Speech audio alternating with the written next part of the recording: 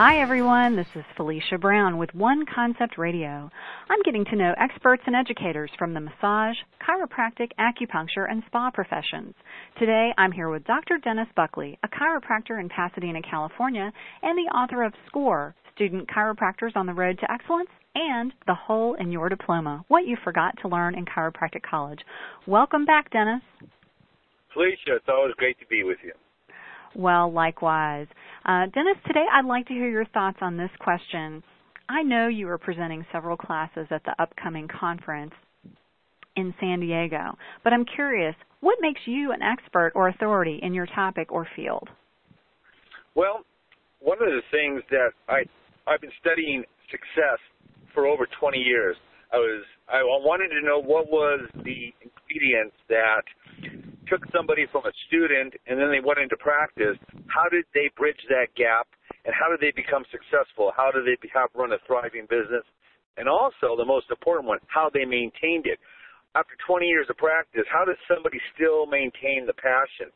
So I've been studying this from 20 years and I was blessed to have many great mentors. And so what I've done is I've accumulated uh, all the information from many of my mentors. I've interviewed over 75 very highly successful chiropractors and also some people outside of my profession who are very successful in the natural health professions.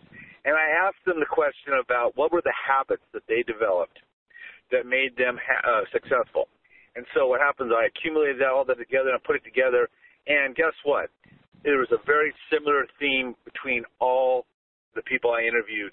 And so guess what? There is a roadmap to success, and it lies in your character and your habits. Definitely. And I'll bet you adopted a lot of the habits that you learned from the folks you interviewed if you weren't already doing them. Absolutely. I look back and realize, maybe consciously or unconsciously, that I was doing that, but it was called mentoring and modeling. Basically, found someone who was doing what I wanted to do, do it in the way I wanted to get it done, and model how they did it.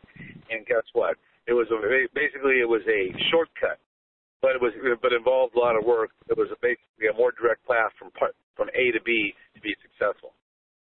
Fantastic. Well, that's great advice, Dennis. We so appreciate you being here today. Uh, can you share your website and contact information with everyone listening? Yes, www.holeinmydiploma. Excuse me, www.holeinyourdiploma.com.